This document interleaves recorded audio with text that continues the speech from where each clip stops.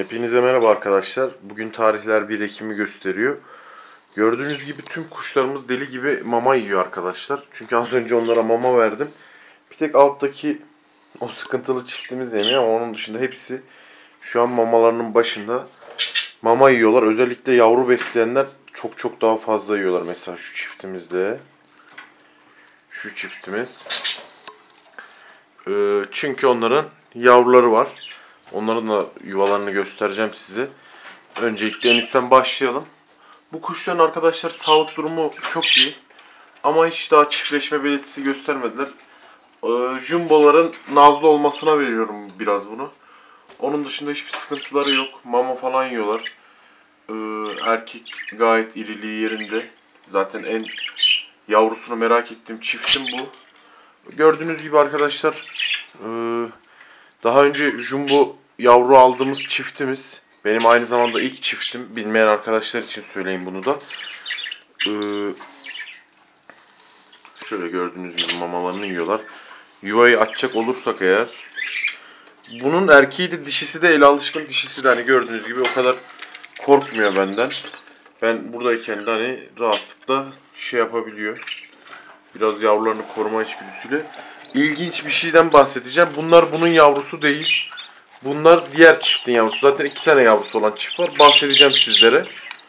Ee, yavrular kendini böyle biraz kurtarınca ben genelde e, büyük üreticiler şey yapar. Şovları e, Çekoslovak ve yerlilere Jumbo şov grubunu Çekoslovak ve yerli kuşlara baktırırlar.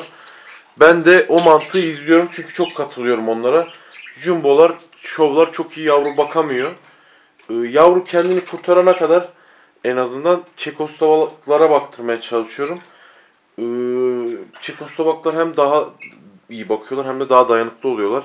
Jumbolar biraz tembel ee, ve çok iyi bakamıyorlar diyebilirim ama bunlar yine iyi bakıyor. Mesela en alttaki şov çiftimden yumurta almıştım. Hepsi boş çıktı üstüne yatmadı çünkü. Gelelim bu çiftimize.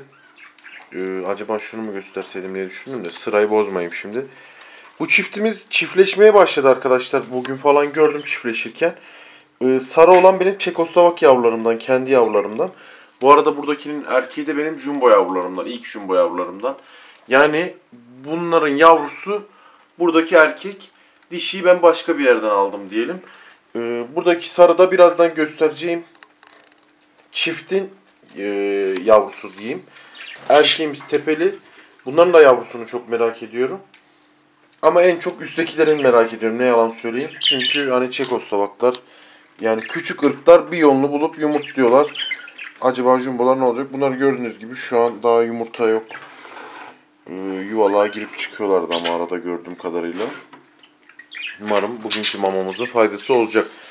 Şimdi gelelim arkadaşlar bizim rekortmen çiftimize. Bunlar neredeyse bir senede yani hesapladım şu bilezik kutusu doluydu. Benim 50 tane bilezik yaptırmıştım geçen sene. Tam da bu zamanlar yaklaşık 50 bileziği bitirmek üzereyiz arkadaşlar. Gördüğünüz gibi şurada siyahlar.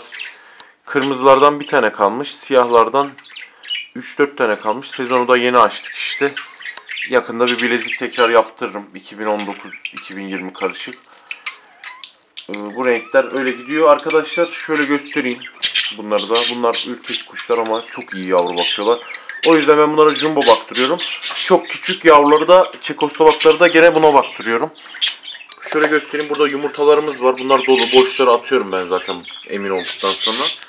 Bu en büyük jumbo yavrumuz şu an bu. Ayaklar çarpık gibi ama o düzelir diye tahmin ediyorum. 3 tane yavrumuz var. Üçü de jumbo. No değil ha bir tanesi Çekoslovak.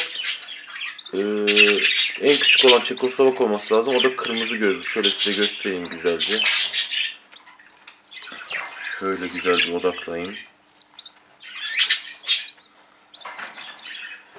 Bu yavrumuz yavrumuz kırmızı gözlü arkadaşlar. Şöyle görüyorsunuz. Böyle anlaşılıyor arkadaşlar bir kuşun albino, lütino veya kremi olup olmadığını. Hangisi şu an belli değil tüy rengin olmadığı için ama genelde kremiyo veriyor çift. Ee, o bir tane üstteki çiftimizin de hatırlarsanız hani bunların yavrusuydu. Şimdi çiftleşti dedim. O da kremiyor. Ee, şey sonra yumurtalar var. Onlar da jumbo. Burada komple jumbo grubu arkadaşlar. Sadece bir tane Çekoslovak var o da küçük diye gene kendi annesi babası bakıyor. Şöyle yuvala koyalım geri. Kapağını da kapatalım. Bu arada arkadaşlar çok ucuz yuvalıklar kullandığımın farkındayım ama ben biraz boyuta önem veriyorum. Yoksa kullanımında herhangi bir sıkıntı yok.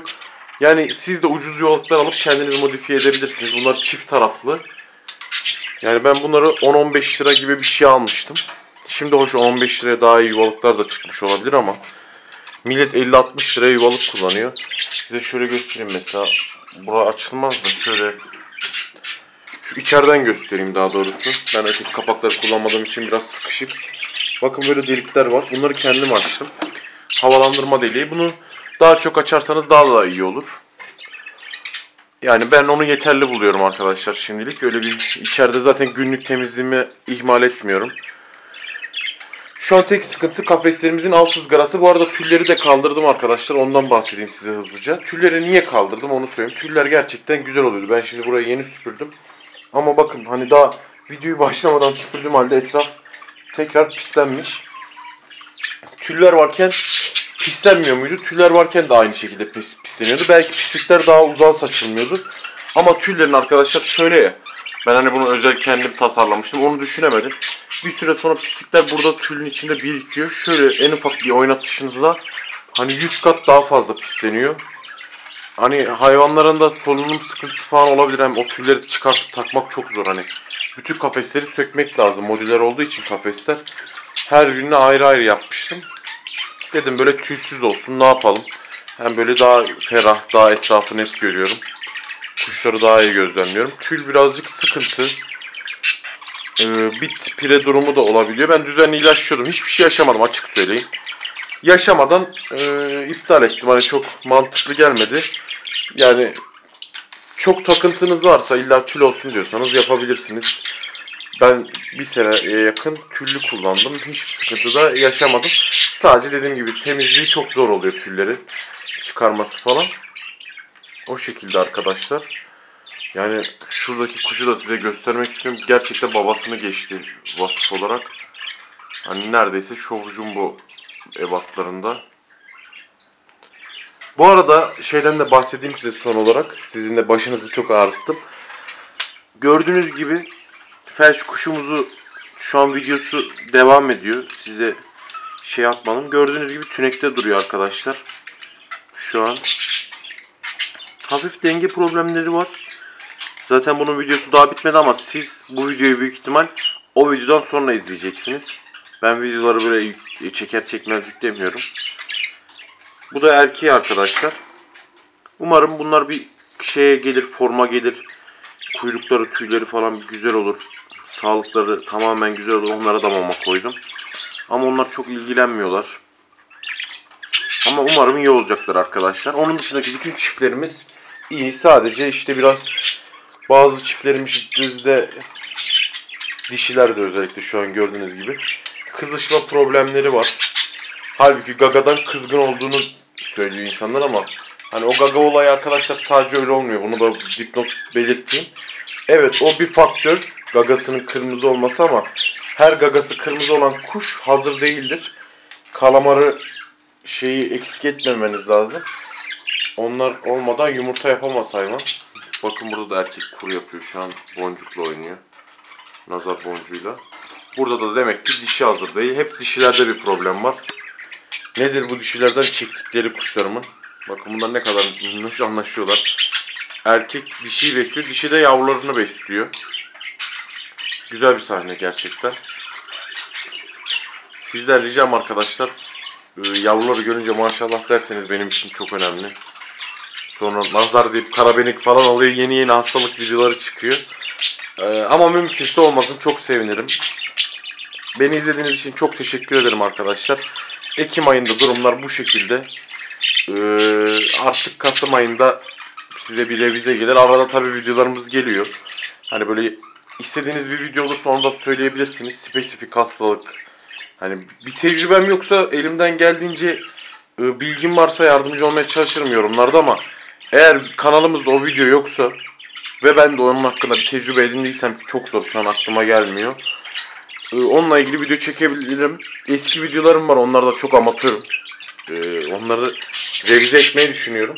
Silmek değil açıkçası. Hani yumurta maması videosu gibi ilk maçta yaptığım yumurta mamasıyla şu an yaptığım mama arasında dağlar kadar fark var arkadaşlar.